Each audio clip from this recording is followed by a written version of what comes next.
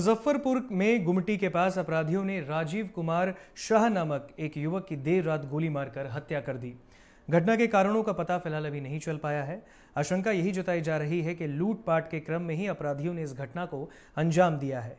घटना की सूचना के बाद मौके पर पहुँची पुलिस ने शव को कब्जे में लेकर पोस्टमार्टम के लिए मेडिकल कॉलेज भेज दिया है।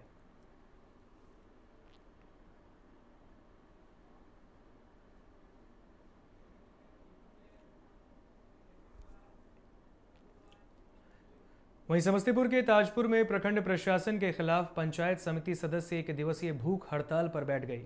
आपको बता दें कि तेरह पंचायत समिति के सदस्यों ने प्रखंड विकास पदाधिकारी पर उनके अधिकार का हनन करने का आरोप लगाया।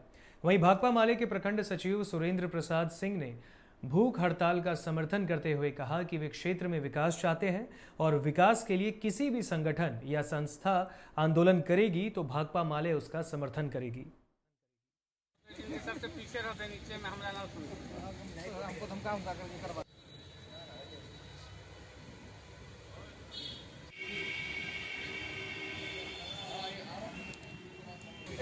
सबसे पीछे रहते नीचे में हमला ना सुन। हमको धमका करके करवा। पंचम हम लोगों का योजना है। डेवलपमेंट के लिए पैसा आता है हम लोगों का। जो लगभग 32 लाख के आसपास हम लोगों की राशि आई हुई थी। प्रमुख द्वारा हम लोगों का बैठक बुलाया गया। बैठक बुलाने के बाद हम लोगों का मतलब योजना पास हो गया। उन्नीस समिति का योजना पास हो गया और उस योजना को पारित कर लिया गया। पारित करने के बाद वीडियो प्रमुख साहब ने भी इन्फॉर्मेशन दिया वीडियो को दूरभाष पे। वहीं पटना में भोजपुरी फ़िल्म अभिनेत्री अक्षरा सिंह और भोजपुरी अभिनेता राकेश मिश्रा ने अपनी अपकमिंग फ़िल्म बाजी के अनाउंसमेंट को लेकर प्रेस कॉन्फ्रेंस किया। इस दौरान कलाकारों ने मीडिया से बातचीत करते हुए अपने फ़िल्म के बारे में कई बातें भी बताई। साथ ही मौके पर फ़िल्म के निर्माता और प्रोड्यूसर भी मौजूद रहे।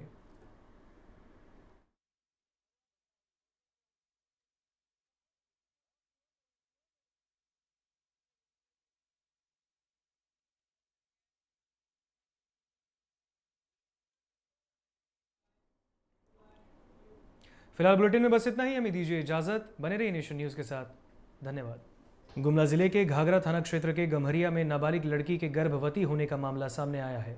नाबालिग जन्म से ही मुख बाधिर है।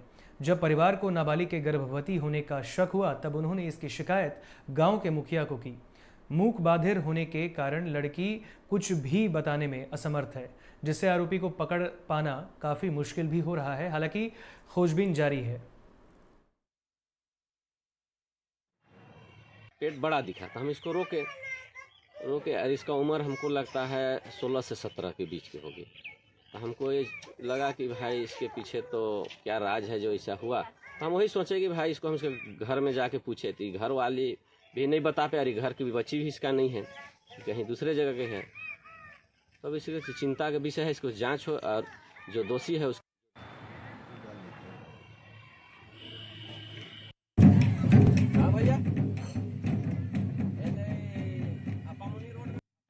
देश में बढ़ती महँगाई को लेकर रांची के कांग्रेस भवन में प्रेस कॉन्फ्रेंस का आयोजन किया गया।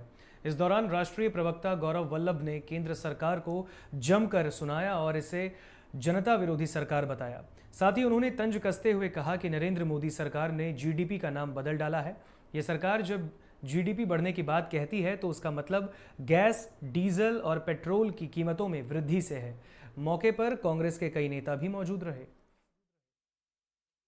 बड़ा इम्पोर्टेंट सवाल है और आपको स्पष्ट इसके बारे में जानना साथियों आज प्रेस कॉन्फ्रेंस हो रहा है विषय आप जानते हैं। पेट्रोल की जो कीमत होती है डीजल की जो कीमत होती है उसमें एक तो बेस प्राइस होती है एक एक्साइज ड्यूटी होती है केंद्र सरकार की। देखिए बड़ा इम्पोर्टेंट सवाल है और आपको स्पष्ट इसके बारे में जानना साथियों आज प्रेस कॉन्फ्रेंस हो रहा है विषय आप जानते हैं। पेट्रोल की जो कीमत होती है डीजल की जो कीमत होती है उसमें एक तो बेस प्राइस होती है एक एक्साइज ड्यूटी होती है केंद्र सरकार की। देखिए बड़ा इम्पोर्टेंट सवाल है और आपको स्पष्ट इसके बारे में जानना। इसके साथियों आज प्रेस कॉन्फ्रेंस हो रहा है विषय आप जानते हैं। पेट्रोल की जो कीमत होती है डीजल की जो कीमत होती है उसमें एक तो बेस प्राइस होती है एक एक्साइज ड्यूटी होती है केंद्र सरकार की। देखिए बड़ा इम्पोर्टेंट सवाल है और आपको स्पष्ट इसके बारे में जानना। साथियों लातेहार के चंदवा थाना क्षेत्र के अंतर्गत दो अलग अलग जगहों पर कुएँ में डूबने से एक नाबालिग समेत दो की मौत हो गई। पहली घटना चकला पंचायत के नगर की है, जहाँ कुआँ में डूबने से चुन्नू उराव की मौत हो गई। वहीं घटना में संबंध में बताया जा रहा है कि मौके पर वैवाहिक कार्यक्रम में वो गया हुआ था, जहाँ वो शौच के लिए बाहर गया था। इसी कड़ी में अंधेरा होने के कारण कुएँ में गिर जाने से उसकी मौत हो गई। पुलिस फ़िलहाल पूरे मामले की छानबीन कर रही है।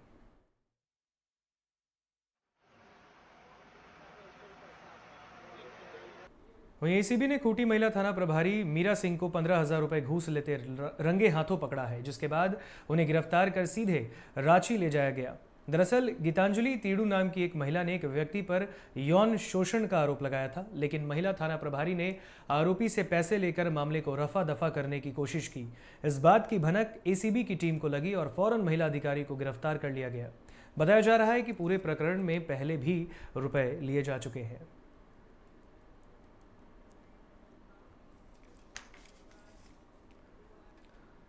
वहीं झारखंड में पलामू पुलिस को बड़ी सफलता हाथ लगी है। दरअसल जे जेजे, एमपी नक्सलियों और पुलिस के बीच हुए मुठभेड़ में पुलिस ने हार्डकोर नक्सली महेश भुइया को मार गिराया है। इस दौरान नक्सलियों के कई साथी भागने में सफल भी रहे। हालाँकि, इस मुठभेड़ में कोई भी पुलिसकर्मी हताहत नहीं हुआ है।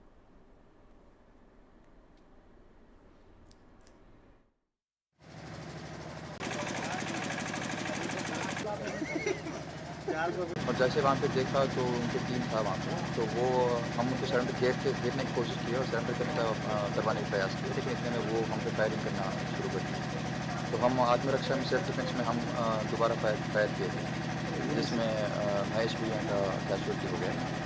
और उनके बॉडी से एक गुमला ज़िले के कामडारा थाना अंतर्गत पकरा पंचायत के पहाड़ गाँव आमटोली में बीते दिन को पाँच लोगों की धारदार हथियार से निर्मम हत्या कर दी गई थी।